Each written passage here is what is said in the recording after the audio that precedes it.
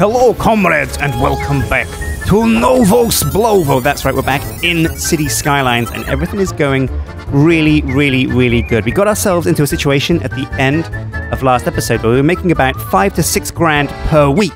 So, what I did was I left the game running, and while it was running, I just took a look around, trimmed up some little bits here and there.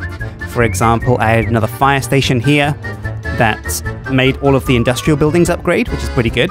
And also adding a fire station or two around in an elementary school also brought up the areas of the hammer and the sickle. But this episode, what I want to do is sort out our sewage problem because, oh my god, that is one mean ass problem. Look at this. Half of the sea is grey. And I didn't even know poo was grey. I always thought it was brown, but sure.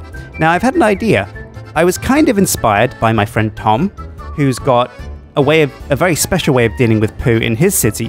What he's done is he's built like a small lagoon, very much like this one, or rather, maybe it was there to start with, where he's put all of his poo, and that's where all the sewage goes. So what I was thinking of doing was getting the landscaping tools, and I don't want him to have a whole lagoon, like a poo lagoon, but how about just like a small pond, like a poo pond?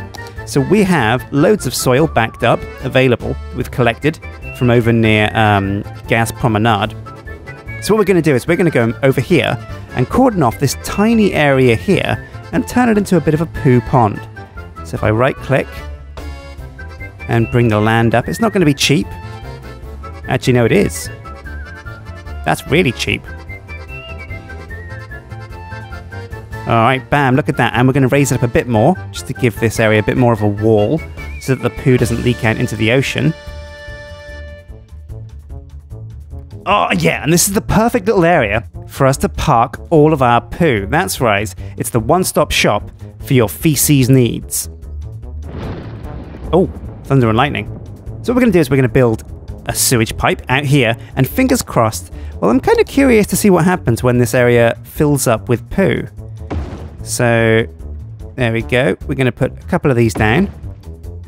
Shouldn't be too expensive. What's the running cost on these? 320 a week. Eh, not too bad. We can still afford to dip into that 5k. And uh, we're going to need to put down power for these guys as well. Bam. Okay, that's fixed. And now we're going to hook it up to the pipes. Like this.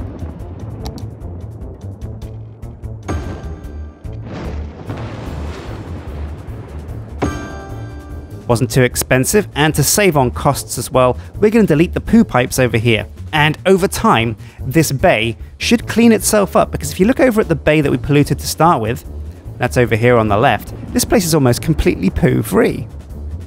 Which is great. I mean, it means we can actually kind of start raising the land value around here. Although it's not somewhere that we really kind of wanted to be a super beautiful place, it definitely gives us a way to, uh, to clean up the sea.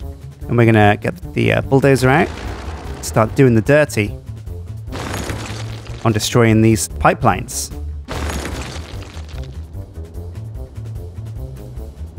Now we're going to have to keep a close eye on the poo pond because I'm worried that all of the poo is going to... Oh no.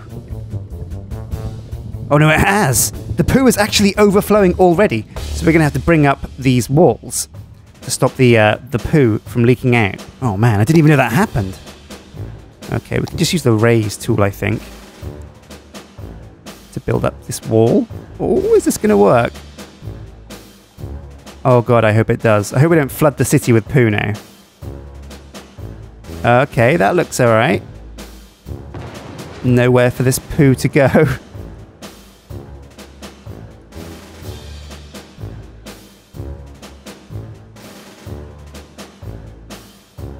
Just like this. Oh man, I'm, I'm like a, a regular Bob Ross of sewage.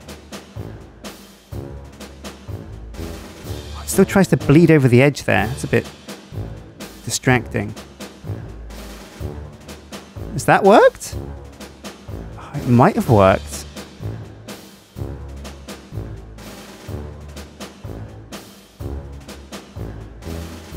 You know what? I don't think I don't think it actually works. Look, the poo is actually up to the pipes now. So if we give this uh, give this area somewhere for the poo to go, I guess down here, like that. Maybe this will help fix the flooding problem we have over here?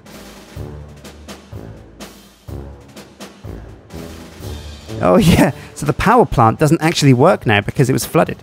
But it looks like it's fixed now. Oh man, I had no idea. So you do actually have to be careful when you do this whole poo malarkey because it does actually come back to bite you in the butt if you don't give it enough place to uh, to run free. Well, okay, we learned our lesson there, but we have moved away from uh, pooing up this location over here, and now we're pooing up this location over here. Where are our ocean pumps for the water? Okay, so we have water coming from over here. Let's check the map to see if we actually are going to get poo flowing over there to our intake, because the worst thing that can happen in your city, poo going into the taps. It doesn't actually show which way it's flowing, but if we try and build one of these, this should do. Oh, here we are, yeah, the arrows are coming down here. Uh, it looks like there's not much in the way of flow, so it's... Oh my god, already this place has become pooed up completely. You have to keep an eye on this, because if the poo gets too close, we're in deep, deep trouble. Deep, deep doo-doo. Now, can we actually buy this square yet? Because that could be a way for us to dam off this area. Now, we're a big city at the moment. 8,400 pop climbing on 8,500. But we need to make that last big push towards making ourselves a proper metropolis. Once we get to actual metropolis levels, we can start buying the tiles all around the map, which is a pretty good place to be. Oh, but what are we going to do? Don't like this poo, if I'm being honest. Yeah, no, we can't buy another tile just yet. Maybe I spoke too soon and acted too soon on that poo situation. Hmm. Actually, what if we make this area really, really deep so the poo can just sink down? Let's try that. Got too much soil, so we're going to have to build up before we can build down. So why not just park some of this dirt over here on this mountain? Probably not going to have to do anything with this anyway later on. Oh man, this is getting expensive. But if we say I can spend about 100 grand on this, that gives us a budget to work with. Now, I wonder what happens if you reach rock bottom, or can you just keep digging all the way to China?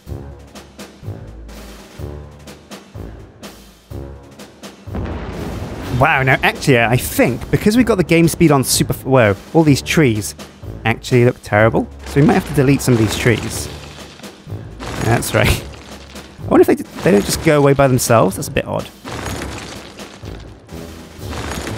No, I don't think we can actually spend money as quick as we're making it now. I mean, I started this game with 600,000 and we're already up to 800, which is crazy. If we can get it to a million, I don't know what we want to buy for a million, but oh my god. We can actually buy some really cool stuff now. Okay, so we've given ourselves a little bit more room to breathe over here. I do think still making a wall over here will come back to bite us in the ass, because this poo has to have somewhere to go. Hmm. What are our options in terms of building a seawall? What's this? Rocks? No. Water structures. Flood wall? A key. Give waterfronts a nice touch. Can we do that? Does that work? Shoreline required. What about a flood wall? Cannot build on water. Hmm. Oh, maybe we could give the um, the water over here a canal to uh, to come out this way, a deep canal. And if we just come over this way, is that going to work? Wow, I think it does. But it's going the wrong way. And this is what happens when poo meets water. Yeah, so the canal, it looks pretty cool. Um, but and it is giving our poo somewhere else to go. It's like it is slowly flowing the right way. Actually, if we block off this way now, it should force all the poo back that way. Let's try that.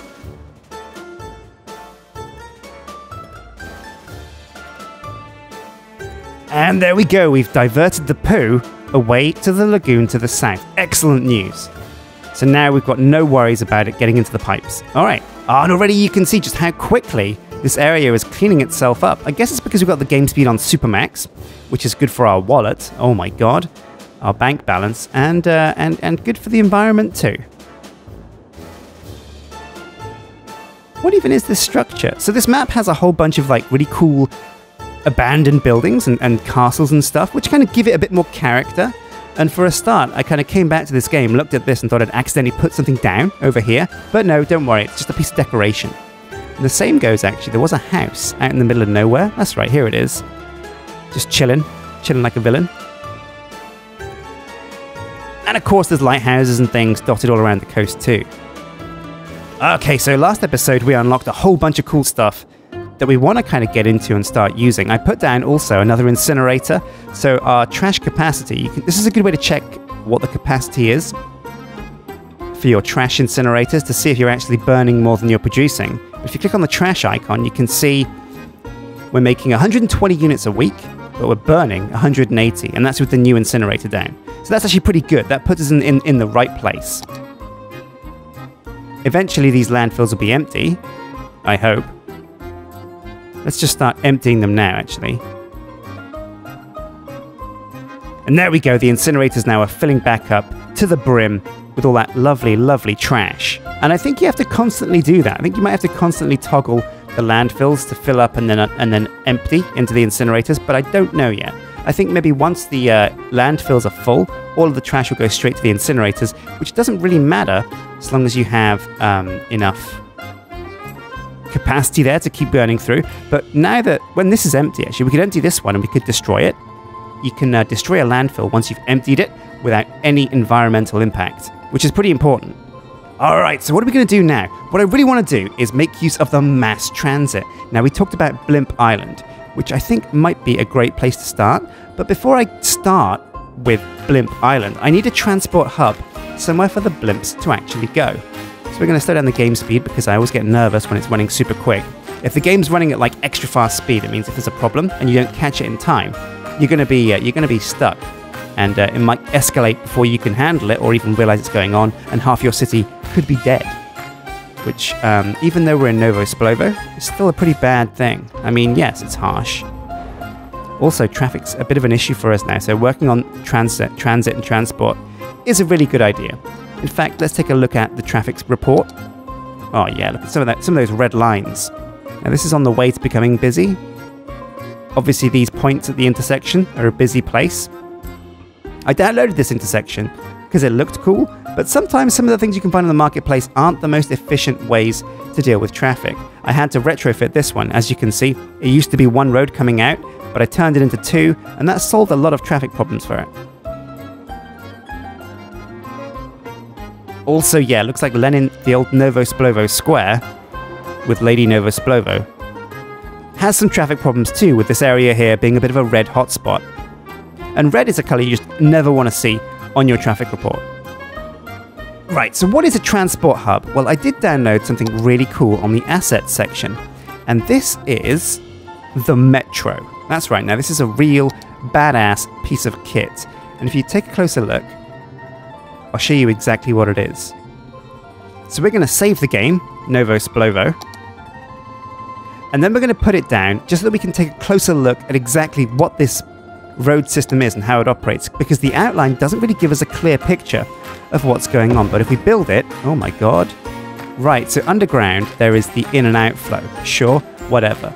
But these here are the connections to the outside world. So you hook this up to the highway and the buses can get into and out of this uh, this piece of kit.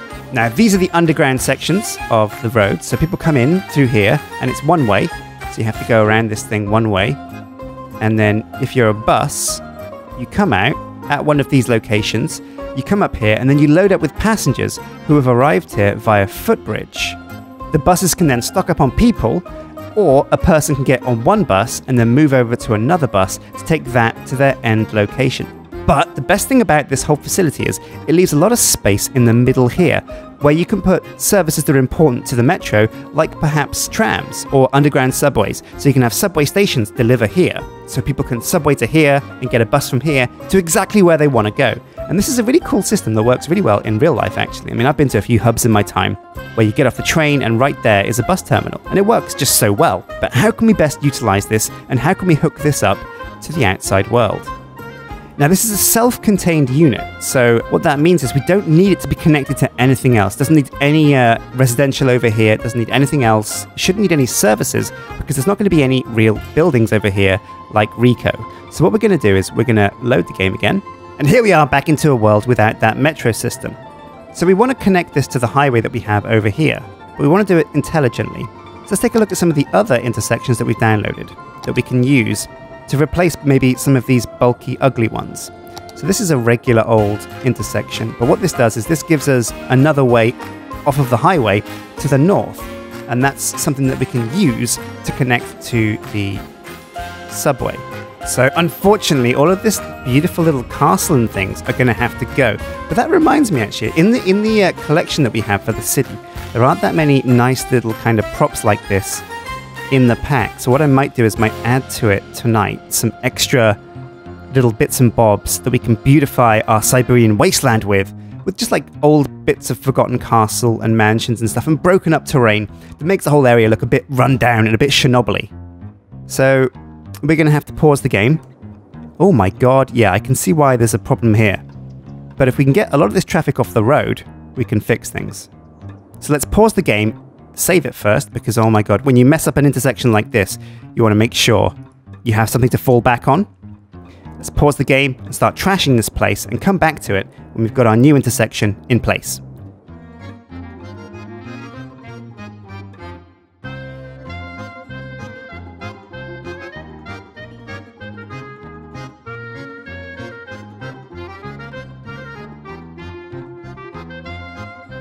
Bam! Um, look at that. It fits like a glove. It looks, well, it's not quite as straight as I'd hoped for. It's not quite as jagged. We've got some curves there, which is not what Nova Splovens really agree with, but it looks like it works, which is pretty much the main concern. And what that means is we can drag the highway up here, and we've just unlocked this whole zone north of that highway. We're going to have to watch this carefully because there could be traffic problems. Always when you make a big change to traffic, make a mental note of what you've done, come back to it, check the traffic uh, reports, the traffic map, and make sure that stuff isn't going crazy on it and you, are, you haven't given yourself extra problems to deal with. Right, so let's see if we can put down how much did that cost? That was £25,000, but it looks like it's uh, saved us a bit of money and somehow we are actually gaining residents. I'm not quite sure, people keep moving in to Splova. We're not building new houses, so these guys must be squatting in places. Or maybe some of these uh, buildings are actually getting upgraded as the land value increases. But we're going to put down the metro now, and let's see if we can get this to work. Bam, we've put it down. Okay, so we just have to hook up these roads over here, and the whole metro system should be hooked up and ready to rock. Now, I've also angled it near to the train line because what we can do is perhaps piggyback onto the train. So over here, we can have maybe a train station. There's not much room for it, but I think maybe we can do that. Uh, and if that works, that'd be great and have people use the train perhaps to get to some of the faraway places in the city. Like if we ever build over here or say down here, using the train tracks, those things will come in really, really handy. Still no problems with the city. Ticking along at slow speed. Let's kick it into high gear and try and connect up these roads. Yeah, now again, there's not many traffic problems down here. Everything looks like it's swimming along pretty well. I don't see any horrendous traffic jams. Alright, looks like we have a mission success over here. Right, so that's the metro system in place. I think next episode we're going to come back, add the bus routes that we need, maybe the train station, definitely the subway, and we're going to see if we can get this thing actually working like a proper city should. But before we go, I want to spend some of this cash since I'm so flush. Let's put down some really impressive mother truckers. We're going to go to unique buildings. And oh baby, now there's some real bad boys in here the Opera House. It's 1,600 a week, uh, but it does bring visitors. People near and far come to it. It's a bit big. What's this? Camaroo? Don't even know what that is. It's expensive, it's quite big too. But you know what? The biggest. What's this? Expo Center? We don't want that. High interest tower? Companies like to have offices in it because of a lovely view. Requirement for building the medical center. Whoa, oh my god. This thing's freaking huge. Oh, it almost fits exactly. Oh, it does fit perfectly here in the residential zone. Oh man, do we want to park this thing right here? What's its cost? 1,600 a week. But what does it do? It's got visitors, so parking it so close to this uh, this roundabout might be a bad idea. However, oh, I don't know. What we're going to do now, we're going to roll back because I want to put down the Soviet City Hall. This thing's a beast. It's only 480 a week. It costs half a mil. But oh my god, we got cash to splash, and we're going to park it right next to the Novosplovo city sign. Check it out. Wait, no, look at this. There's, so there's a catchment area around here. It's going to up the land value of somewhere. So we want to put this next to some really nice houses, don't we? Maybe. Ah, screw it. I'm putting it here. I don't care. It's got a low cost per week, and it looks freaking beautiful. Oh, man, look at that. Look at that symbol. I don't even know what that says. Something in Russian? Oh, probably. But this is a, this is a thing to behold. Right next to the Novosplovo sign. Welcome, comrade, to Novosplovo. Oh man, if there's ever been a screenshot that shows off our city, it's this one right here. That is beautiful. Let's check the land value on that actually. Whoa, hang on a sec. No, that's just general happiness. Where's land value? So it hasn't really affected the land value too much. Oh man, this, this area is picking up though pretty well. And let's just double check how things are going with our sewage problem. Oh, okay. So the, the water is flowing around this way, but it's still nowhere near our water inlet, which is pretty good news. Oh man, right, so thanks for watching City Skylines, and join us next episode when we hit the metro and hook up a subway, maybe a train, and maybe some buses, and let's get this city in motion. Take care.